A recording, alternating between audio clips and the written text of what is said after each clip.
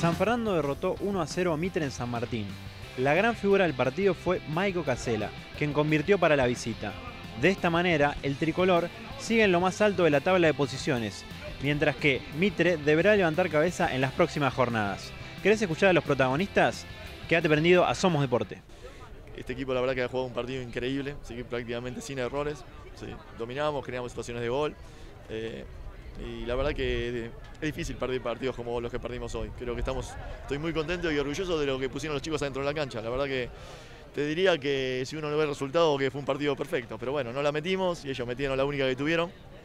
Pero bueno, son cosas que pasan. La verdad que pese al resultado, como te dije, estoy contento. Nos quedan ahora cuatro fechas, dos, como te dije, con, sin los chicos de selección.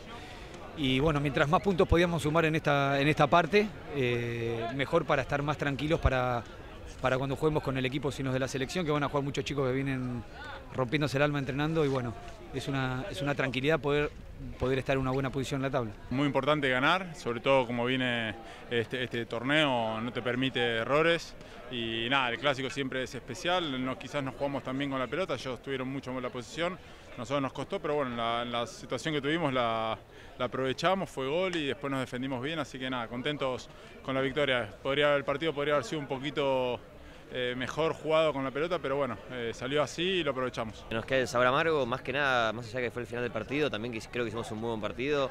Eh, prácticamente no nos generaron situaciones, nos generaron ahí dos, tres minutos que nos desconcentramos y nos hicieron el gol y nosotros intentamos ir todo el partido y lamentablemente no pudimos convertir. Este es un equipo que está en crecimiento y mientras jueguen como jugaron hoy, no, no, me tengo que preocupar de nada realmente. ¿sí?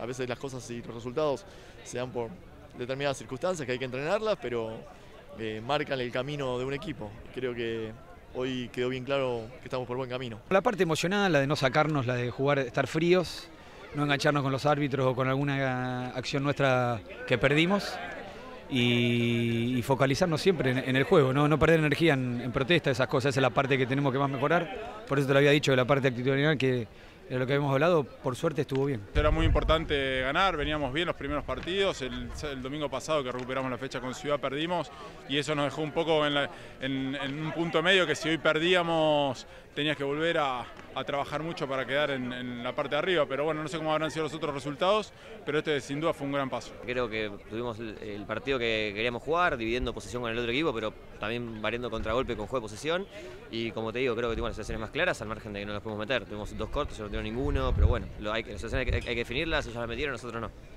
Los resultados del Metropolitano Caballeros de la quinta fecha en el top 10, lo dicho, la gran victoria de San Fernando en condición de visitante por 1 a 0 y el gran triunfo de Banco Provincia en condición de local por 4 a 2 ante Ciudad. Con estos resultados, San Fernando y Banco Provincia lideran la tabla con 12 unidades, Mitre se encuentra séptimo con 4 puntos. Por el lado de las chicas, también por la quinta fecha, Banco Nación igualó en condición de visitante 1 a 1 ante River. San Martín con el mismo resultado igualó ante Italiano. Y San Fernando empató 2 a 2 ante Belgrano. De esta manera las posiciones la lidera Banco Nación con 13 puntos, lo sigue Geva con 12, River suma 10, San Fernando 8 y cierra San Martín con 2 unidades.